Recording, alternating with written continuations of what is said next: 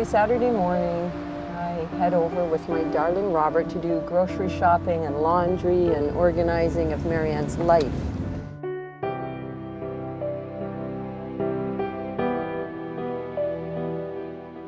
The film is uh, about a woman. Her name is uh, Marianne. She's 51 years old and she has dealt with schizophrenia all her life. She's an off the wall character and uh, she has a sister, Jennifer, and without the help of her sister, she would have fallen through the cracks of society.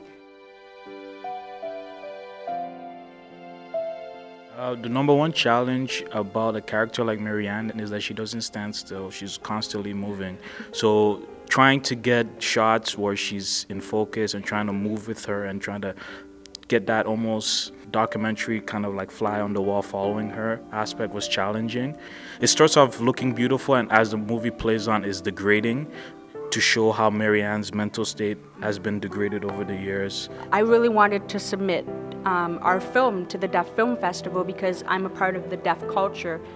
Being a director, you really have to like listen. I was lucky enough to have a crew of six that totally respected me and understood like my problems.